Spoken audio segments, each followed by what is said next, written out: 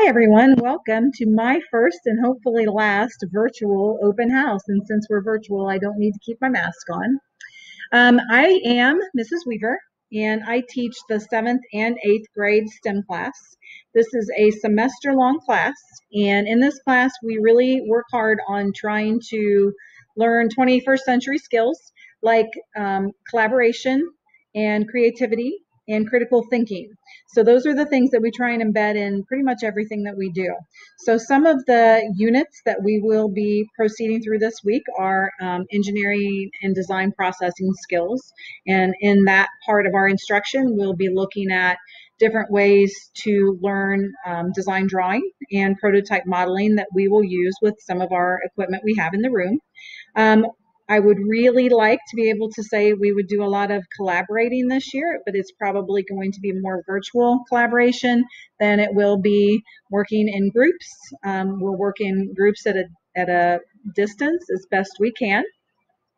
Some of the technology that um, students will be using in this class, we have a, a lot of it in here. So we have an augmented virtual reality sand table at the back of the room, right back there, that topography table um, that actually students um, helped create.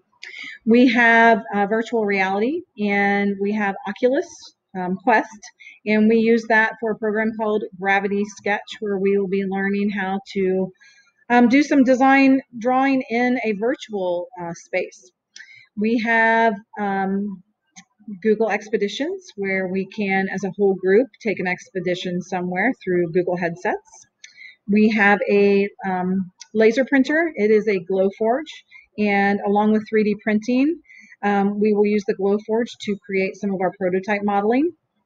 So the Glowforge uses vector files, and so students will learn about vector files and how to create on the laser cutter, as well as how to make STL files that are operational for our 3D printers, which we also have available in the classroom.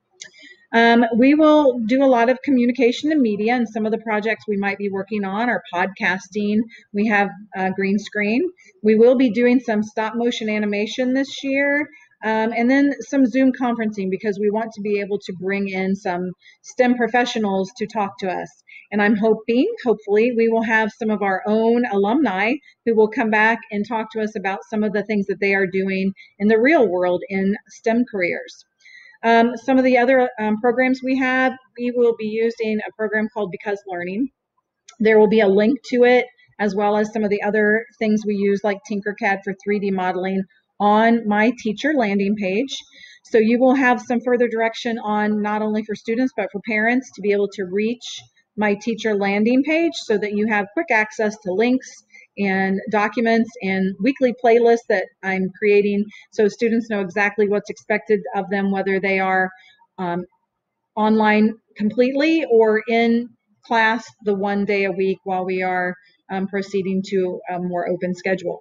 So some of the electronics that we'll be working with, um, the program I was speaking to was Because Learning, and it is an online platform, and students actually will be learning just the basics of electronics, how to use a breadboard, um, how to uh, insert LED lights in a breadboard, how to have multiple things occurring as they're using uh, sensors and other things that are part of that um, curriculum.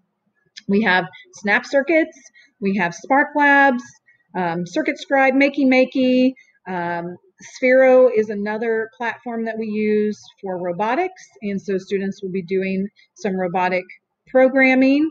Um, I'm really excited this year because we have um, some new robots. They are Sphero's latest platform called RVR, and it is a rover platform. And we will actually be using some of those rovers to create weather stations as we look at some weather patterns.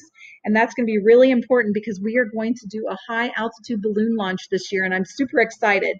And um, this is all grant funded, so I'm really excited to say that um, we've got a lot of new equipment coming in for students to be able to use and get a really good hands-on experience with some real world um, STEM equipment um, and experience things that students sometimes don't experience until they attend college. So I'm super excited to be able to offer some of those new things to our students.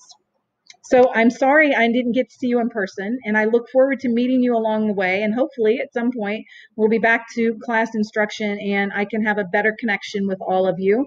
Um, but please feel free to contact me whenever needed through my school email, and I will get back to you as soon as possible.